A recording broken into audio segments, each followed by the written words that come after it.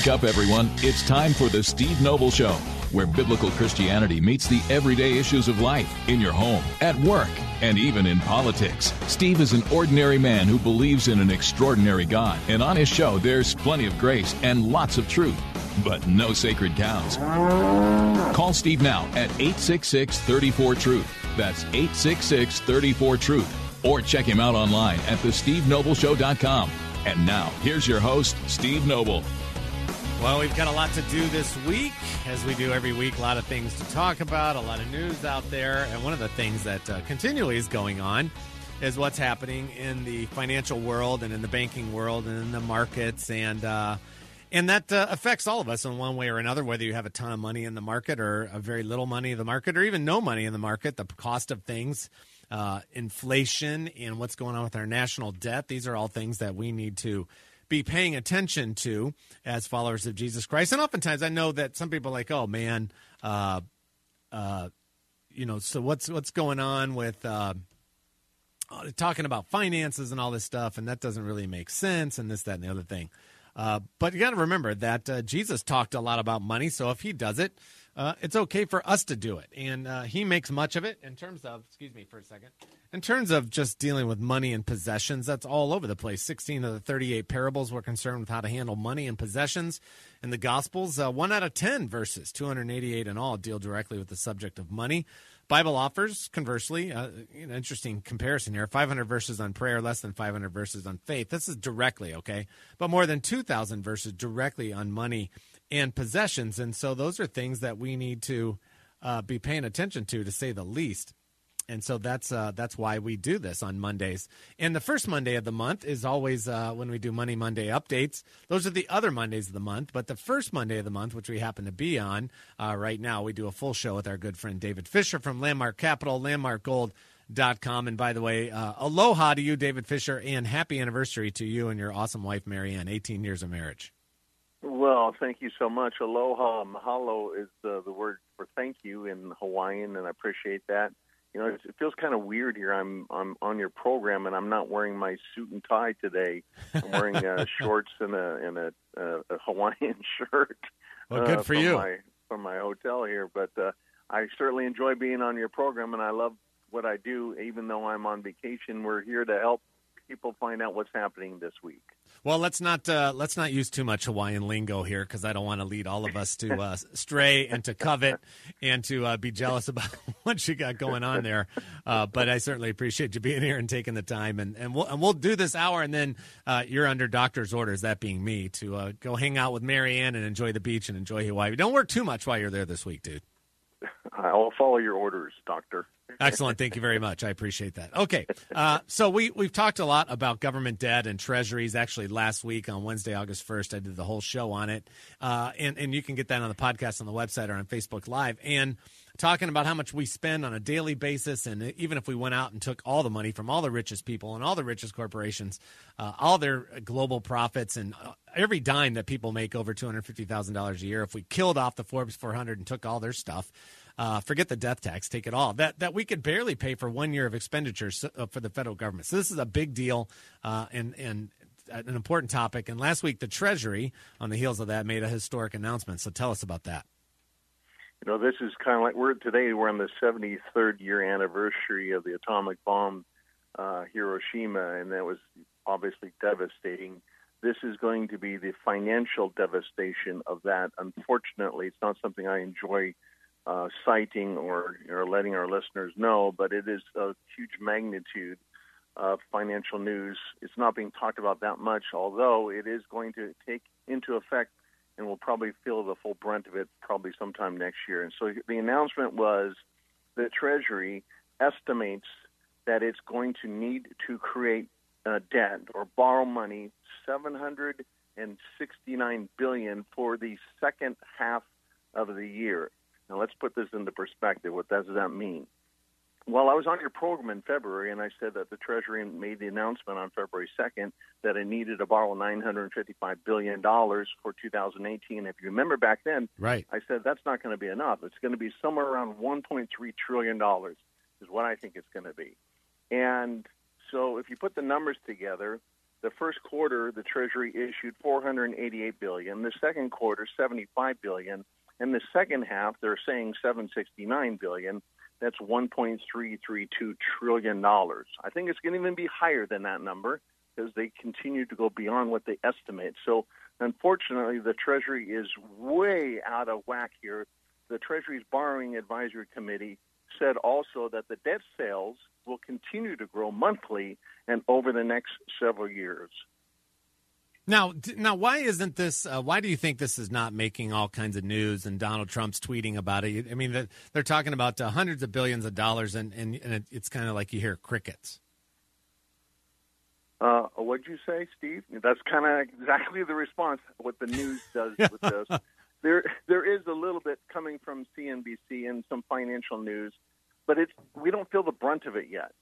We're starting to feel the brunt of tariffs, so they're being talked about, but we're not feeling the brunt of a debt, and we feel like okay, that's something that will the government will address sooner or later, and then we'll get, we'll take care of it when we get there. Kind of like the debt ceiling and how Congress acts. That's why we have government shutdowns. But this is not. That's why I said it's not going to affect us now, but it, we will have the effect of it in a severe way. Probably about next year, mid next year, maybe even earlier than that. There's an economist that came on uh, Bloomberg News said it could happen in the next six months that we would feel the brunt of this. Yeah, and so that uh, that uh, we kind of hear about it now and feel it later, and and hopefully people will start to pay more attention. Well, we're talking about the federal government and everything. The Fed often comes up. We often talk about them raising rates uh, in this uh, as we deal with our debt and look at the cost of living. So what what's going to go on that? Do you think the Fed's going to continue to raise rates since this escalates our debt, or do they not pay attention and even care about that? Well, the Fed is is independent from the government. They don't work for the government. Uh, they're a private corporation. They're not federal, and they have no reserve. And the person who President Trump assigned to the Fed, Jerome Powell, is a data-driven uh, guy. He's not a markets-sensitive uh, person like previous Fed chairmen like Yellen, uh, Janet Yellen, and Ben Bernanke. So he's going to be on course. He's not going to let this change his mind. Uh, and others are chiming in, like uh, Jamie Dimon, the CEO of J.P. Morgan, uh, largest bank in the United States, over the weekend said that rates are going to continue to rise. And he talked about the 10 year Treasury, which is at 2.938% today. And that's the thing to watch. We've been watching it. But he's saying right now, this is his quote. He says, quote, I think rates right now should be 4%. Wow. He said, you better be prepared to deal with rates at 5% or higher it's a higher probability than most wow. people think right now. I'm going to put so you on hold, David. We're, we're coming up on a break. We're talking about those rates, 4 to 5%. What would that do to the economy in your pocket? We'll be right back.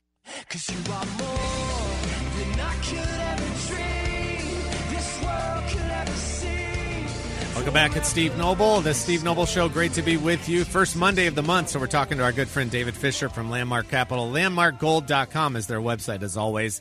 LandmarkGold.com, and talking about all different kinds of uh, financial issues, and uh, that all affect us individually. Pocketbooks, yeah, spending, debt, uh, your investments dealing with an ups and down, up and down topsy turvy market, and today the market was uh, up a little bit, and so you, you go, okay, that's uh, that's better. It's but it's been up and down, up and down all over the place. We'll talk about gold too as we move through the show today. By the way, just a reminder, we just started and just moved into chapter three in the book of Proverbs on the Daily Dose devotional. So I hope you'll check that out. It's uh, I love writing them, and they're very practical, short, hard hitting. If you like the tone of the show here during the afternoons, then you'll definitely love the Daily Dose devotional. We'll be in the book of We'll be in the book of Proverbs so for a while. There's a lot there, obviously. It's very practical, pretty hard hitting. I try to have as much uh, grace with that as I can.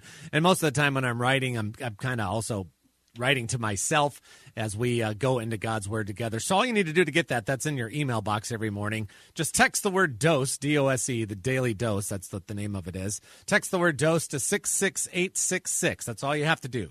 Text the word dose to 66866, and we'll get you on that email list and uh, hopefully help you get uh, going on uh, on your day uh, with a bit of a dose of God's word. again, in the book of Proverbs, just started chapter three, talking to our good friend, like I said, David Fischer from Landmark Capital. Uh, and David, again, thank you for taking time to be with us. Uh, make sure you enjoy your your time out there in the Hawaiian Islands with your wonderful bride. And thanks for taking the time to uh, keep us up to date. You very much appreciate my brother. Okay, so you were just mentioning, and this was kind of wild, that somebody was talking about uh, the Fed going uh, to, that we really should be at four and five percent interest rates, which would obviously tank the economy. Anything that President Trump would want to do in the midst of that, that would that would tank him. Uh, is that is that really a serious prediction or a serious thought? And where do you think we're actually going to go with interest rates in this country? Well, he's referring to the yield, the ten-year yield, which is at two point nine percent, and so for yields to go up to four or five percent, rates would would continue to climb, and we'd be above three percent in rates, which definitely would affect the economy. So rates are going to go up. Uh, we have to raise rates. The Fed has to attract or give an incentive for people to hold this debt that the Treasury is ballooning like crazy. Otherwise, the, who's going to buy the Treasury? You have to have a reason to buy it, and that's all an interest rate is: is an incentive for somebody to hold uh, U.S. debt. Yeah, and so that's that's where I think that all of us have to be paying attention because a lot of these things that we can sit there and listen to you talk and listen to this information, David, but we got to remember that all this stuff's kind of like a boomerang, and and eventually it comes back around. We hear policy and we hear news, but for most of us, this does boil down into everyday living, doesn't it? Yeah. So uh, simply put, you know, as the Fed raises rates, that creates credit cards will raise their rates, which costs more household income to pay that debt structure. If you have an arm in your mortgage, that will raise rates also. If you're thinking about getting a mortgage, that's going to raise that. If you're thinking about buying a car, cars are going to cost more, rates are going to cost more. This is gets trickled down from business to business because businesses use what you call a line of credit in manufacturing, which they off to the consumer. So this is going to be cost of goods costing more, which means inflation, which means that's what's the best environment to hold gold is an inflationary environment. So that's this is going to be a, a, detriment. It will be recessionary. It will trigger a recession at some point. We're not there yet, but this will be a major ignition to a recession. Yeah, and that's uh, something that uh, none of us want to hear because that has real world implications uh, on on down the road for all of us. Uh, so, so should we be? I mean, ultimately, in the long term, should we should we do something to kind of brace ourselves for these rate uh, increases in the future as we talk about our investments and we talk about gold and things like that? Well, you want to manage your debt first of all. I always advocate don't uh, carry large amounts of debt and try not to have any debt, especially credit card debt, since there's no asset behind it. Um, and if you're going to have a mortgage, have a fixed mortgage. So manage your debt is the most important thing here. Diversify is the second most important thing. I mean, it doesn't make sense to invest in something when you're buying on credit to invest. So right. get your debt under control, then invest. And when investing, make sure you're properly diversified. Don't have all your eggs in one basket. It'd be very unwise to have all your money in gold. It's just as unwise to have all your money in stocks. So diversify because when the recession came last time, Steve, stocks got hit 45%. Gold went up 56% the first year and went on a multi year run and went two and a half times its value in four years. Yeah, really remarkable to see that happen and to pay attention to that over time. We're talking to David Fischer, Landmark Capital. Uh, their website is always landmarkgold.com, landmarkgold.com. Or if you still want to operate the old fashioned ways, David says from time to time, their phone number is 844 879 8882. Tariff seems to come up every week. Uh, last week, there were several announcements, David, about tariffs and, and uh, Donald Trump in the United States, and then all of a sudden China coming back. So, where are we at? Any new information on tariffs? Well, the China is talking about responding to the possible uh, president's uh, uh, response of putting 200 billion dollars on uh, tariffs, Chinese tariffs. And if they do, China is going to respond. They can't do it tit for tat, dollar for dollar, um, but they can do because China we sell. Uh, we buy four times as much for them as they buy from us, so they yeah. can't. We can't impose a dollar for dollar tariff, but they're going to impose sixty billion dollars. More importantly, they said it, their quote is they are prepared for a protracted war, uh, and they don't fear any of the sacrificing short term economic interests, considering the unreasonable demands that the U.S. is putting on them. And China will never surrender to blackmail and will definitely rise to defend its own interests when it in values involves its national interest and its national dignity, quote unquote. So they're looking at this as, as a very personal thing and that's unfortunately we had two very strong leaders, President Trump and the leader Xi, from China who are very adamant that they're not going to back down, so they're kind of digging in. And uh, President Trump was tweeting some things this morning. I kind of wanted to do a fact check if we have the time to do that, Steve. Yeah, I think we well we got a couple more minutes before we hit the break. So we'll just start this. You know, first and foremost, I want to say I'm not against our president. I've said that tariffs all along will not work. Now we're starting to see some facts.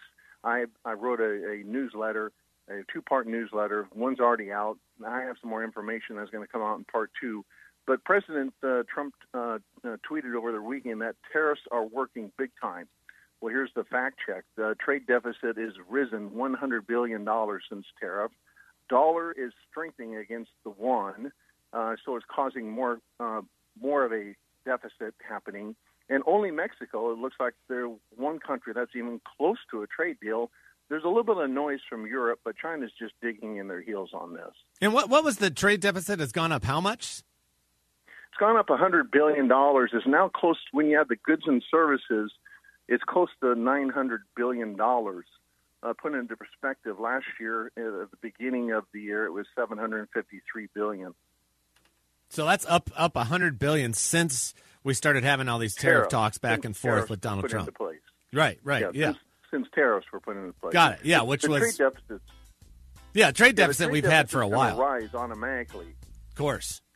Well, I want to keep talking about that. I'm going to put you on hold, David. We have a little bit of a delay. I'm going to put you on hold. We're coming up into the break, and we're going to keep talking about that, fact checking the Trump the, the Trump tweets from this morning when it comes to tariffs, because it's one thing to say, hey, we're going to even the, the playing ground, uh, but when you're going up against China and against President Xi over there, he doesn't have to worry about public opinion. Donald Trump does. We'll talk about that when we come back with David Fischer, Landmark Capital.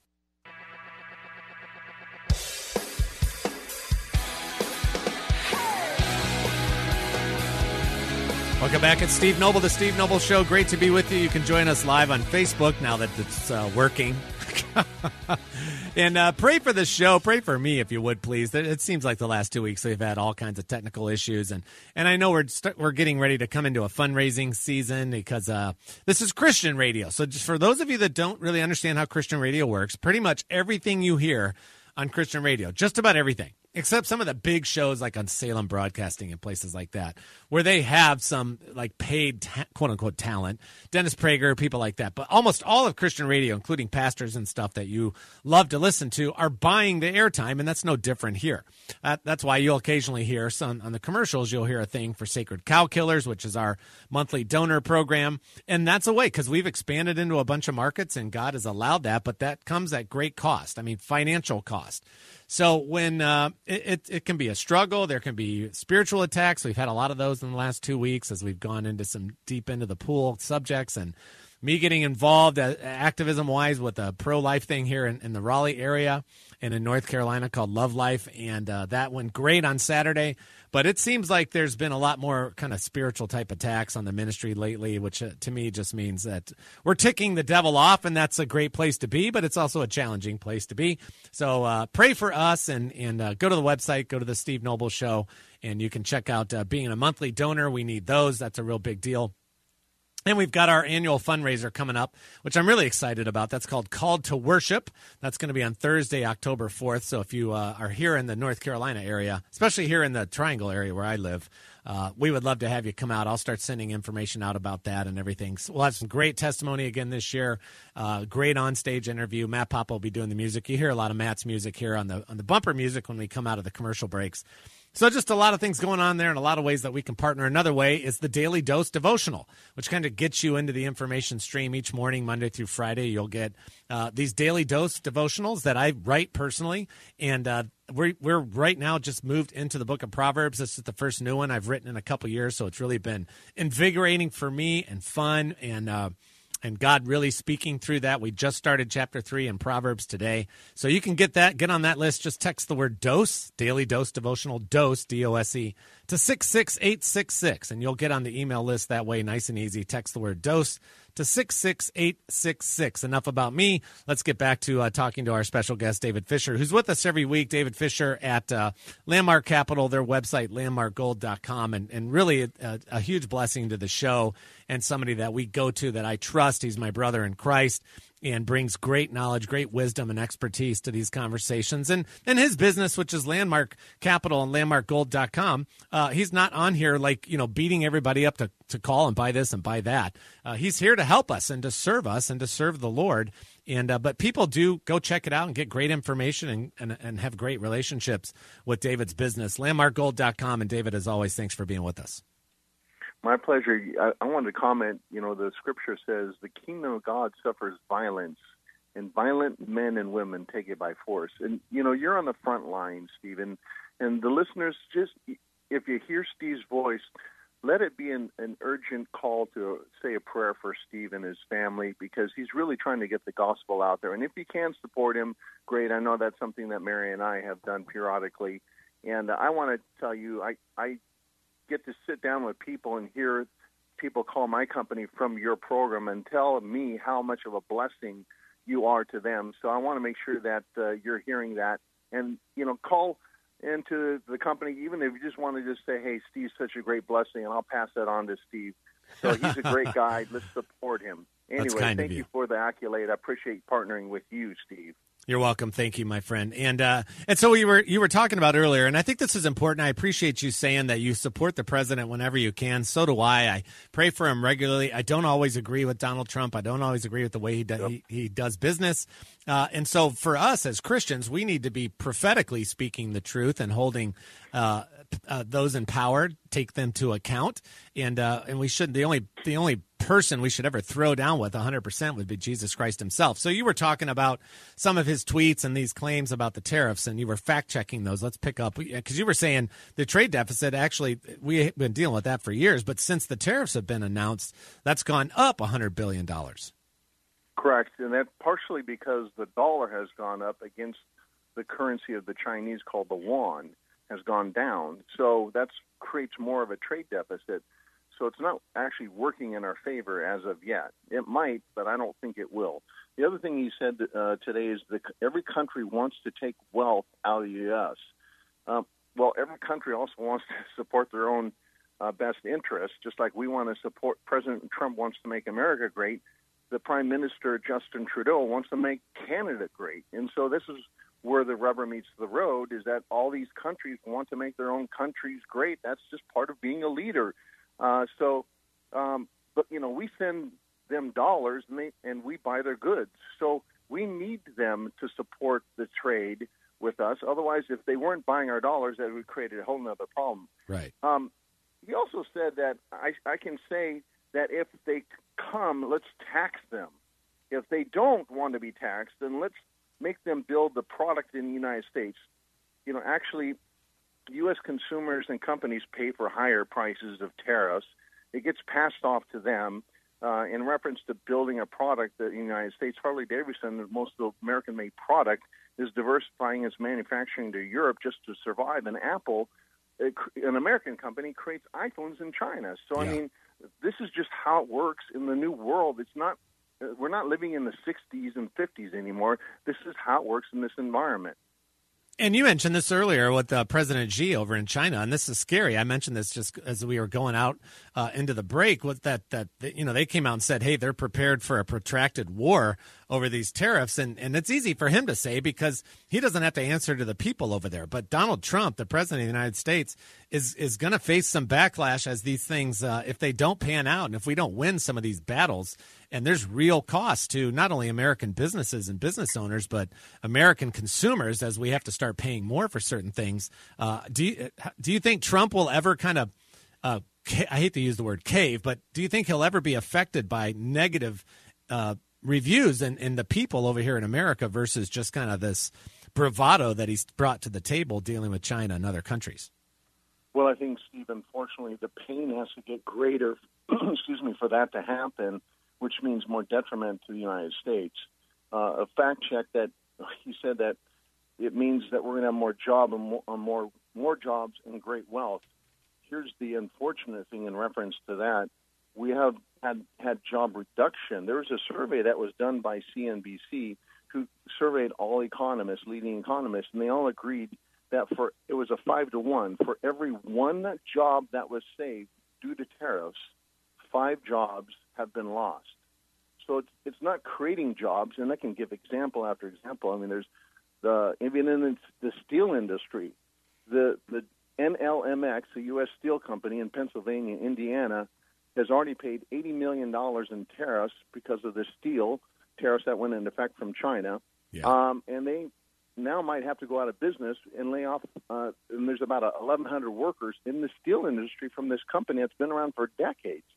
There's lots of companies that are feeling the effect of tariffs. It's not producing jobs.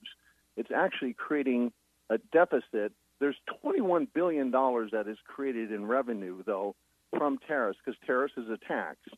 But he said he was going to pay down the national debt. So, in reference to the national debt, we're talking trillions, Right. and it's grown 1.6 trillion under President Trump's leadership. While only 21 billion has come in from revenue from tariffs, but 12 billion has to go out to subsidize soybean farmers and other farmer subsidies. So it's just not really working yet. Yeah, and, and this is a dangerous game, and, he's willing to play it. His bravado, his his background in, in real estate, and, and basically being a speculator, and that's the way he would play that game with his own business. But to play that game uh, with everybody else's business and with the U.S. economy and with real jobs, that's a totally different world. And and I think the jury's out. This is a very dangerous game of poker he's playing, and we're just going to have to give it some more time. But like you said, there are real things happening right now that are really affecting people in America, and we have to be very cautious as we move forward. Let, let's talk about something that's right in the center of your wheelhouse, David, at landmarkgold.com, which of course is gold. It's gone down a little this year. So, so why is that happening? And, and I have a few other questions about it so we can make sure we understand uh, the role of precious metals, specifically gold, as we look at our investments. Well, gold is doing what it's supposed to do. The dollar, when dollars go up, gold goes down, and if the dollar has risen significantly this year, gold has only dropped a little bit, which tells us how the strength of gold actually is. So, I mean, gold should be down about a hundred or uh, or maybe even up to 150 dollars more than it is right now, in reference to how much the dollar has risen. So, I'm not concerned about where gold is at right now because it's doing what it's supposed to do. It's it's it's supporting the offset of the dollar increase.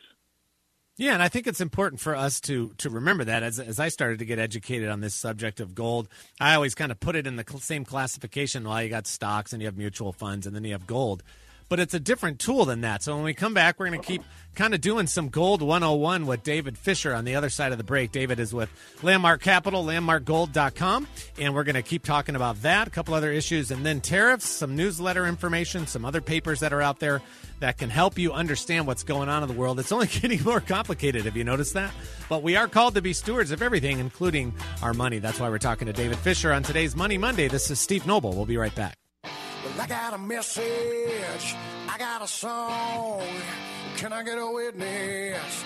Tell me what's going on. Welcome back. It's Steve Noble, the Steve Noble Show. Great to be with you again. A reminder, just because uh, it's really been great to, to be involved in the Daily Dose devotionals, and I hope that uh, you'll allow me to uh, bless you each morning, Monday through Friday, with that. And all you have to do is text the word DOSE, D O S E, to 66866. You'll get a quick reply, and then we'll just get your email, and you'll be right on the list. You'll get the, the next Daily Dose tomorrow morning uh, there in your email box to help you get your started your day started uh, with the Word of God. And it's pretty easy to read. It takes a couple minutes at the most.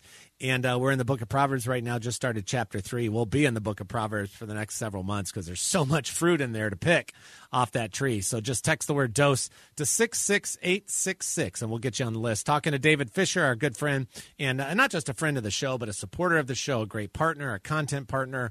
Uh, they help support the show financially.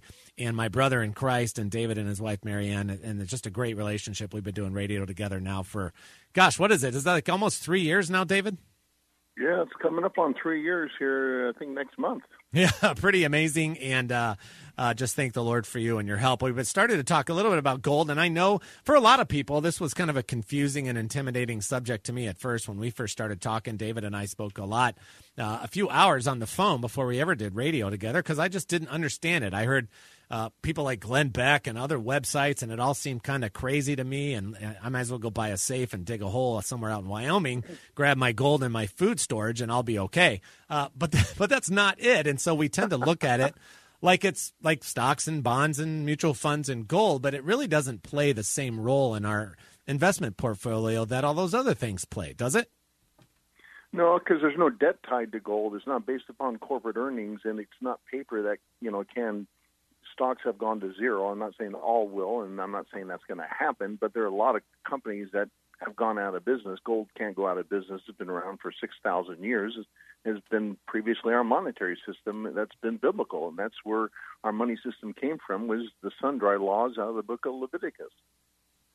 And so as we as we look at this year, because oftentimes we kind of think uncertainty is good for gold. We've certainly had a lot of uncertainty this year. All you got to do is go look at the Dow Jones Industrials uh, for the for the year, and it looks like a great roller coaster ride. But but when it comes to gold, typically we would think, okay, that's that's where I want to be during uncertain times. Yet gold is down a little bit this year. So so what's happening there? Well, it's because, like I said, the dollar was moving up, so gold has to retract. Now, let me let's put this into perspective. The World Gold Council put together a report recently uh, that came out that said how much does it cost to mine an ounce of gold, and those those numbers are between a thousand forty dollars and fourteen hundred and ten dollars. So if gold is at twelve oh eight today, we're in the midst of a mining cost of gold. So gold basically moves up as there's uncertainty when there's not a strong movement towards the dollar.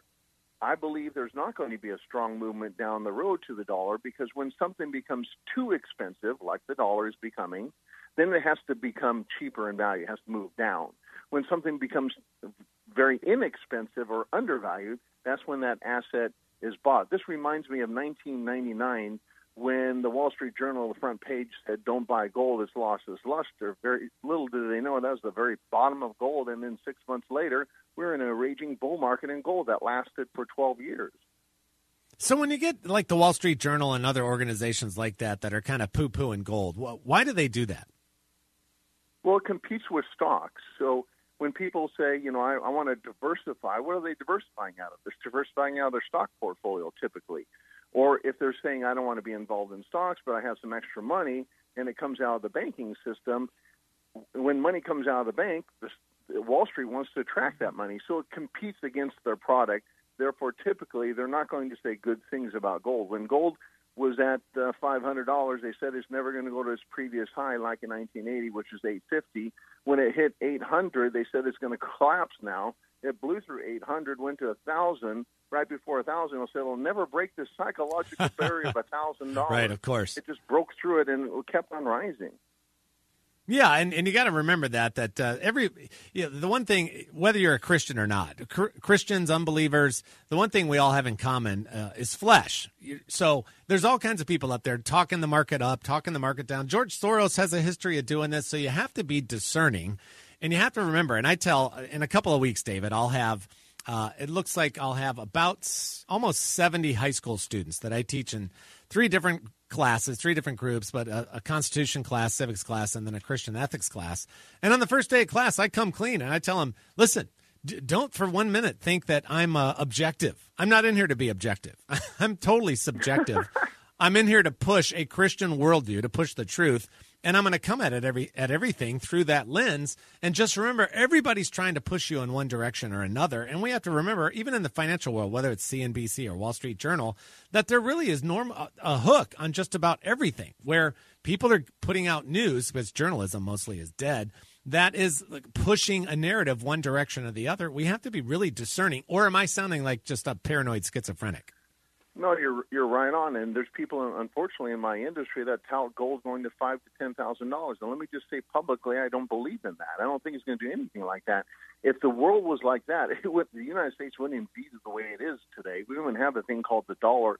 Yeah. What it is now, the dollar would still be around, but it would be such a different world. I don't expect any of those things. I think gold's going to rise, but I don't think this is going to be the biggest boom happening and it's going to quadruple a year from now or these unrealistic numbers. I think gold is going to make a, a run in gold, and we're going to have a decade of a run in gold like we had before. But it's not going to get triggered till about a year, year and a half from now, and it's but it's, that's the time when you want to buy in a depressed market and diversify. Yeah, and that's so uh, important to remember that. And again, that the mindset as we as you consider gold and you look at precious metals relative to an investment portfolio, I always use this, and it's kind of simple uh, picture language, but uh, you know, you got a teeter totter out there on the playground, and if you load everything up on one end of the teeter totter, and, and, all of a sudden somebody steps off the other end, uh, that's not so good. So you want to balance that out. That's what I've learned uh, from David over these last several years. As, as, you look at precious metals, as just kind of a balancing, or I guess you could use the word hedge against what's going on in the marketplace, and and uh, I think that's a pretty effective uh, analogy of looking at it. You know, you're exactly right, and probably you know the, some of the things that drive gold is pretty simple. Higher interest rates drive gold. Like the 70s, we had interest rates moving up. I don't think we're going to get to the 20% level or even double digits, but higher interest rates causes gold to move up. We're going to move into higher interest rates. So that's a reason for gold to move up. A stock market correction and a recession it causes typically gold to move up. It did in 2008 and it went up very nicely for 5 years. And the debt structure of our country is what caused gold to move up. If you put a chart together from gold overlaying debt ceiling and national debt, gold from 2001 to 2011 moved tit for tat, step by step in direct correlation. Wow. And then what happened in 2012, we had a financial crisis of a credit problem, a credit downgrade as a country, and gold made a big run higher than reference to the national debt at that point. So now then gold has corrected and is under those levels. So either the debt has to come down or gold has to rise up. I don't see the debt coming down. So we're undervalued in gold in reference to a, a landmark or a yardstick called debt. And I know there's uh, you put out some uh, and create some extra uh, some great information, David, and you spend a lot of time researching and writing. And uh, I know you've got the newsletter, which is about tariffs. I want to talk about that real quick, and then a white paper that talks about uh, uh, a bubble, which bubble will, will first to trigger the coming great deflate. So tell us about those right quick. Well, the tariffs I've been writing in depth more than I can say on on your show on you know what's really happening inside the mechanisms on effectiveness or, or, or lack of effectiveness of tariffs. And uh, it's a part two part series. Part one just came out. Uh, part two is going to come out next month. Here, coming up real quick. And then uh, the other one is a time is up. Which bubble will burst first to trigger the coming great deflate? You know, we go from bubble to bubble to bubble to bubble, and yeah. the Fed intervenes to create another bubble. That's what's happening here, and we're going to we're going to see that bubble pop. I mean, it's not like the end of the world; it's just going to adjust. And so when when environments change, you need to change the portfolio to adjust to the environment. That's all investing is. And we have a great report that details a lot of bubbles that are being formed because of the government debt and the Federal Reserve. And uh, and and how can people, if they want to access that information, how can they get that? They can uh, call our company the old fashioned way at 844 879 8882, or they can go to our website at landmarkgold.com. David Fischer from Landmark Capital, thank you so much for uh, spending this hour with us, buddy. Uh, have a great time there in Hawaii with you and Marianne. Again, congratulations on your 18th anniversary, and we'll look forward to talking to you again soon. Thank you, my brother. All right, buddy. Aloha. Have a great time. Mahalo. Mahalo. Talk to you later. And uh, try not to covet. Try not to be too jealous. Hey, I just wanted to kind of give you a heads up on the rest of the week, and we always appreciate David being in here uh, to talk about these issues. And coming up uh, tomorrow is going to be a, another fascinating story, a testimony. Dee Barnes is her name, and God brought her. And, and this is a talk about controversial subject, especially if you go to the West Coast. God brought her out of uh, the homosexual lifestyle that she was leading. You know, she was uh, down the road and living a full lesbian lifestyle. And God brought her out of that. She's going to be coming to town here in, in Raleigh, North Carolina, uh, in a week and a half at a great conference here, uh, Transforming Grace, which is the whole purpose of grace. So she's going to be on tomorrow. And then Wednesday, uh, I'll, I'll be pre-recording Wednesday's show, but I'll be talking earlier in the day in the day to Ben Shapiro. So I'm looking forward to that. That talk about fast pace. Uh, he talks fast, I talk fast, which means everybody else is going to have to listen fast. So we're going to be talking to Ben Shapiro. We've got uh, a show with Dr. Danny Akin for Theology Thursday, who's the president of Southeastern Baptist. So a lot of great content coming your way this week.